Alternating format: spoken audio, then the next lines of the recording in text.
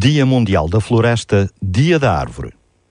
Depois de dois séculos de crença na razão e na ciência, continuamos a nossa correria cotidiana sem nos apercebermos que mais de metade das florestas tropicais do mundo desapareceu desde 1950 para cá ao ritmo de 4 mil metros quadrados por segundo.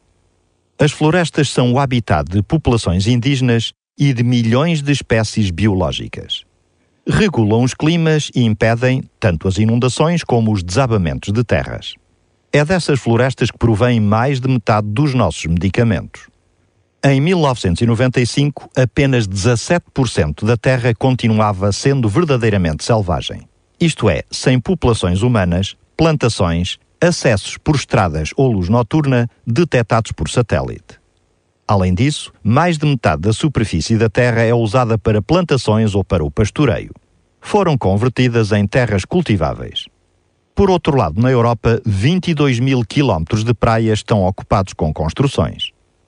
Hoje, preocupados com as nossas responsabilidades profissionais, nem reparamos que todos os anos cerca de 60 mil quilómetros quadrados de terreno cultivável são destruídos ou ficam gravemente depauperados.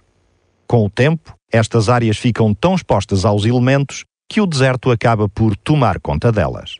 É um fenómeno que está a acontecer, sobretudo a sul do Saara, na Ásia e nas zonas costeiras dos Estados Unidos e América Latina. A Europa também não está a salvo. Surge então uma simples, mas oportuna questão: como ajudar a proteger as florestas? Entre outras, uma das maneiras é reciclar o papel. Por isso, não o queimemos nem o lancemos no lixo doméstico. Juntemo-lo e levemo-lo aos ecopontos de recolha. A reciclagem do papel é importante, porque poupa energia e árvores que são o suporte da vida na Terra. Portanto, mais do que nunca, é urgente proteger o mundo vegetal criado por Deus no terceiro dia da criação. Deus fez esse mundo vegetal para contribuir em grande medida para a vida da e na Terra para que a vida humana, incluindo a sua e a minha, tenha futuro.